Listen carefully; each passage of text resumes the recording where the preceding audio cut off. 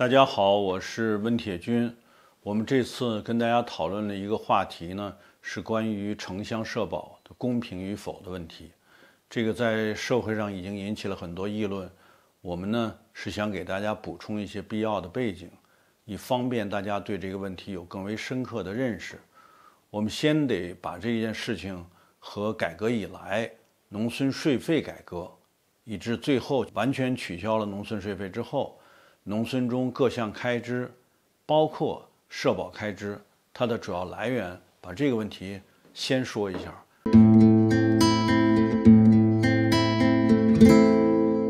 大家都知道，我们过去在改革之前，农村是人民公社三级所有的集体所有制，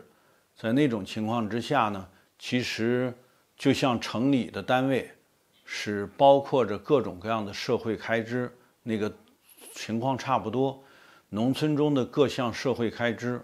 包括老人、包括孩子的教育、包括看病等等，所有这些开支呢，其实都是由人民公社统筹的。那那个时候没有明显的这个差异，只是如果要是没有这个很好的医疗服务、教育服务呢，那大家情况差不多。这个集体化和单位制。都是让一般群众能够得到基本公共服务的这个制度设计，但是后来呢，确实有很多分析认为，当时的人们呢没有得到这个相对比较呃有效的社会开支服务，不，比如说教育啊、医疗啊等等，认为呢这些属于社会福利性的这个开支呢，呃，实际上。城乡一般居民得到的服务程度是很低的，呃，这个说法呢，很多这个不同意见，但是我们不参与这种讨论吧，只是告诉大家，过去呢，呃，实际上这个体制，城市用单位制，农村用公社制，来提供基本服务的。至于提供的多和少，这个效果到底好和坏呢？那恐怕也很难用今天的人的眼光来做评价。我们只是说呢，它历史上是这样的。到家庭承包制以后，那人民公社解体，撤社建乡，撤队建村，也就过去的公社这一级呢，就改制为乡镇政府了。那大队这一级呢，改制为行政村了。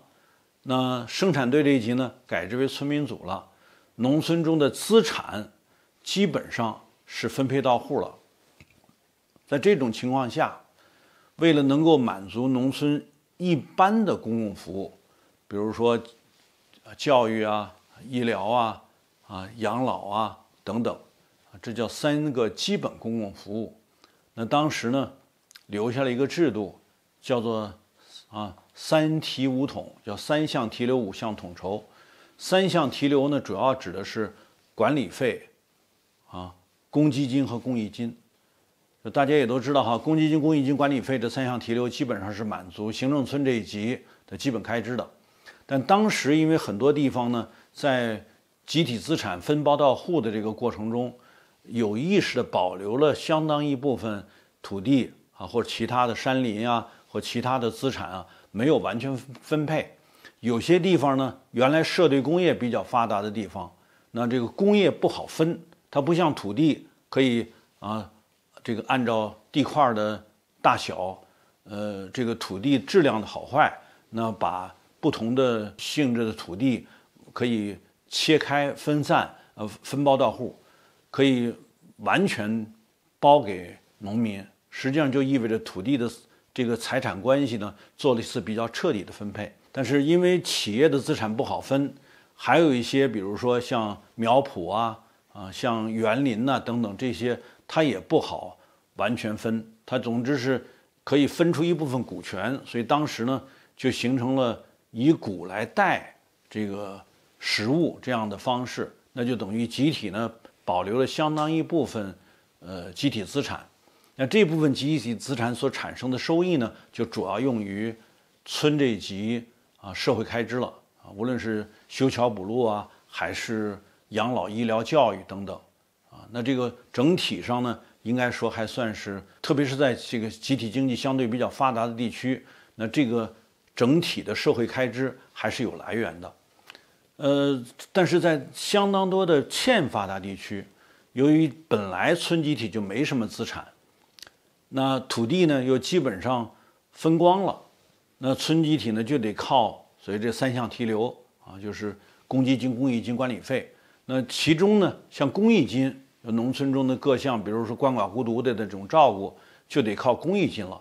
那公积金呢没多少，很大程度上和管理费一块儿都是。由村上做开支了，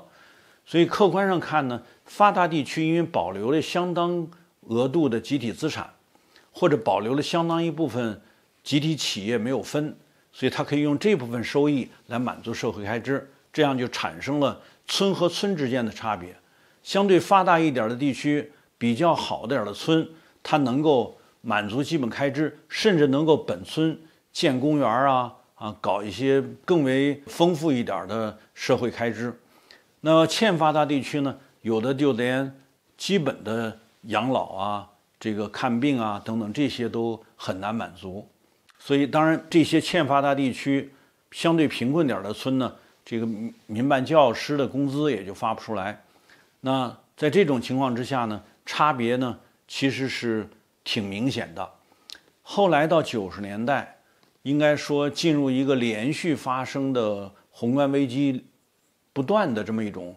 客观情况。那个时候的宏观形势比较复杂，我们不详述，只是说呢，当时国家能够给农村增加的建设开支或者是社会开支是非常有限的。我印象里，在八九十年代的时候，国家财政用于农村人口的开支。只占全部财政的百分之三以下。那在这种情况之下呢，其实农村中的这些社会开支是很难得到满足的。那客观上呢，就是农民看不起病、上不起学啊等等这些事情，甚至养不起老的这些呢，也就确实是存在的。那到了九十年代，就相当多的政策部门的人呢，比较认同。当时西方的制度体系，尤其是美国推行的新自由主义制度体系，那就要求农村必须把这个财产呢尽可能的私有化。所以这时候呢，九十年代中期，就是九三年、九四年前后，兴起了一股乡镇企业的股份化改制，其实就是私有化改制。呃，相当多的乡镇企业因为有负债，呃，那它的资产呢又不被承认为资产，所以这样呢就。很大程度上就出现了一种潮流，就是你只要把这个债务背过去，这个资产就归你了。所以客观上看呢，这个时候呢，就农村中出现了一个普遍的趋势，就是过去能够承担社保开支啊、养老开支、医疗开支啊这些村呢，也因为他所依托的财产，也就是乡镇企业的资产，被私有化了，所以他就没有这部分收益了。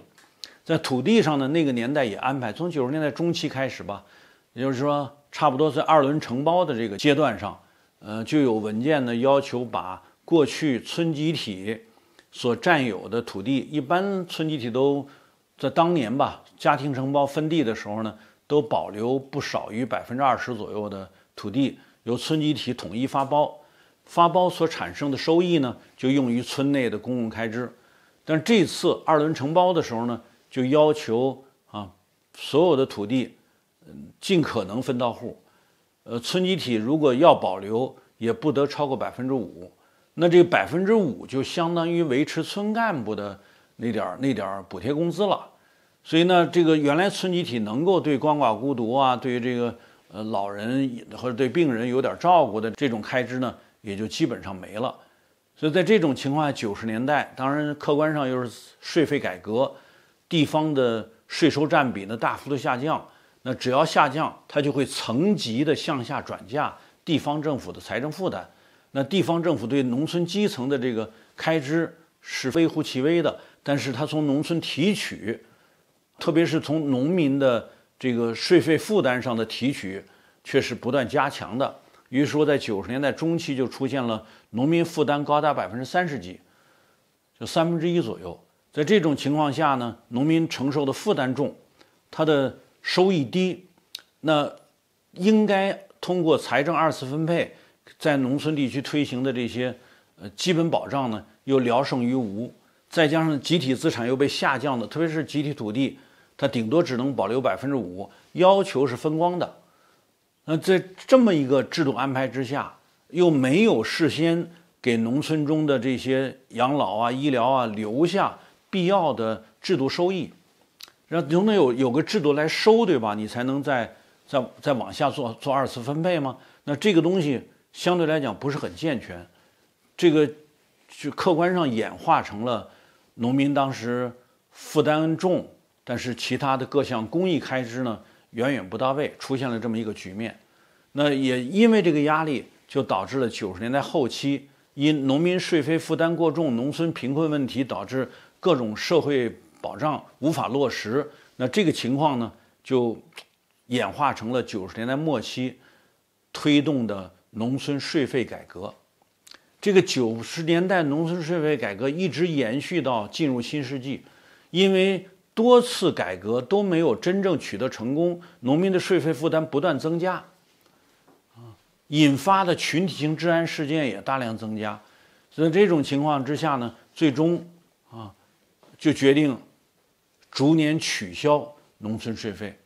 我们知道，九八年以后的那次农村税费改革，是把当时的三提五统，就本来是原来公社应该承担的社会开支，大队应该承担的社会开支。分为三项提留、五项统筹。公社这一级呢，原来是五项统筹，大队是三项提留。后来改为乡镇和村的时候，就是乡镇政府五项统筹，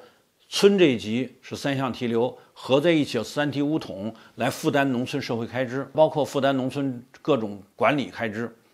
把这个东西，过去占到农民税费负担的百分之六十以上，有的地方呢是超过百分之七十的。而国家的正税，啊，只占这个全部农民税费负担的百分之三十左右。那于是呢，就干脆把正税提高一倍，就是给出了一个百分比，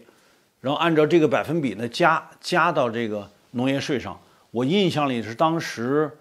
提了一个百分之八点四的农民税费的比比例，就变成了农民税费负担的总额。然后用这个呢上交到国家财政，国家财政再对农民做分配，然后再给你加一点儿哈，让他能够满足农村的开支。实际上这项改革一推出，很快就啊，因为它不能有效的去满足农村基层开支嘛，于是乎就很快就不能说失败，但是很快就失效了，是因为它实际上农村基层的开支越来越大。再加上很多乡村的各种事业单位呢，他人浮于事，这个也是一个客观情况，就是因为大量的农村基层干部，他们的这个后代，你总得给他们做个安排呀。于是乎，农村中那些，比如说计划生育啊，或者是工商所啊等等七所八站，他的人员就扩张。呃，据当时的这个这个有关的调查哈，当事人的调查。一个农村财政所能有一百零八人，当时叫做一百零八财政干部，这些呢，其实大部分都属于要靠三提五统或者要靠农村中的税外的收入。于是乎呢，头税轻，二税重，三税是个无底洞，各种各样的问题没有解决，反而进一步复杂化了。就是我们必须将战争放在资本流转的一个大的背景下来思考。当西方的资本可以通过新殖民主义的全球化，进一步推进它的产业资本扩张和金融资本扩张的时候，这个时候你们大家看到的都是各种各样的非常美好的说法，啊，推进你们的改革，推进你们的开放，帮助你们的人民得到更好的福利等等。我们也都知道，世界上各个主要经济体都不是被外部问题造成的严重困境，而很大程度上都是内部问题造成的。任何一个国家都应该尊重城市劳动，不应该尊重攫取。只有在一线政策部门，对你是知道经济社会发展过程中间真实问题出在哪儿了，有一个宏观的视野，能看到天下。